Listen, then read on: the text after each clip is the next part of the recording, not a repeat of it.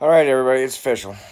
The uh, Quantum Tour exhaust is complete. Uh, let me show you what I ended up having to do. First, let me take you in here. Okay.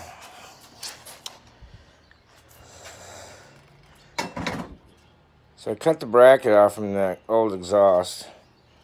First one was a fail. There's a, all kinds of junk in there. I mean, fucking junk. I'm telling you, that's it's terrible. This thing's terrible. Okay, so it's gonna be our final, our final look.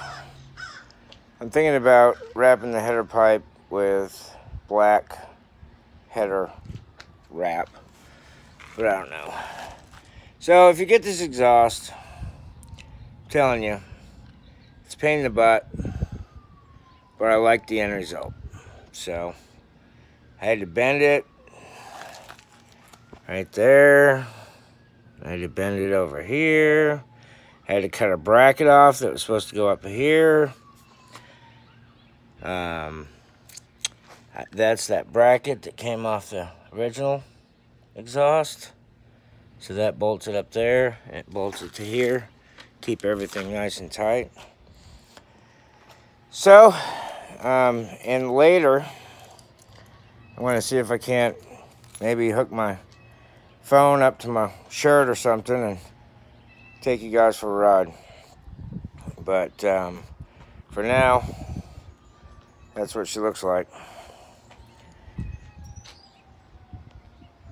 Once again, thanks everybody for watching.